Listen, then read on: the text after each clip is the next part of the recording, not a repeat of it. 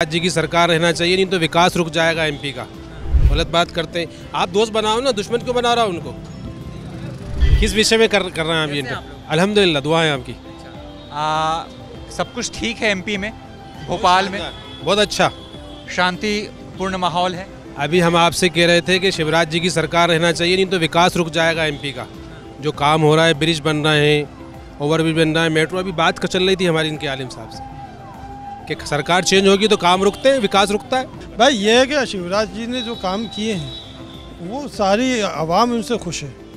हाँ हर उनके अ, उनकी अच्छाइयाँ हर जगह बयान की जाती हैं और उनके ज़माने में कोई दंगे नहीं हुए। सबसे अच्छी बात ये। वो यही सबसे बेहतर बात कही जाती है। और विकास तो हो ही रहा है जैसे देखा जा रहा है। मुसलमानों को भी बीजेपी को वोट करना चाहिए। दोस्ती करो ना दुश्मनी क्यों कर रहा हो? मुसलमान खुद वोट नहीं देता बीजेपी को। तो वो इसलिए नफरत की बात करते, गलत बात करते। हैं आप दोस्त बनाओ ना, दुश्मन क्यों बना रहा हो उनको? हम तो कहते भाई जब दोस्ती हो जाती है आपकी मेरी दोस्ती हो जाएगी तो आप मेरी बात मानते हो नहीं मानते? बुरा करोगे मेरे साथ? और आप, मैं आपको दूर मतलब ये है कि दुश्मनी करूँ, आपसे तो आप क्या करोगे मेरे साथ? जनरली बात है ना ये तो।